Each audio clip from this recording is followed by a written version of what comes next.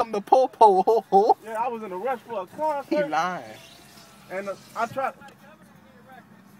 I, I no, I need a record. The man told me, the other policeman told me, uh, he was gonna give me a record so I can get out, so I can go ahead and make it there. But I just need a little pull. That's all. All right. Police about to help her. Police say fuck her. That's the po-po ho. That nigga gonna laugh, man. What he said? But turn the heat on. At least you can put the heat on. What he said? He was The lease, huh? At least you can put the The least. What the police say? What they said, Scott? I, ain't I don't know. What the police say? About See, he a police helper. we want to He wild. ain't half motherfucker. Other motherfucker just looked and laughed and kept going. What kind of shit that is? Tangipahoa police. What the Tangipahoa? What that is?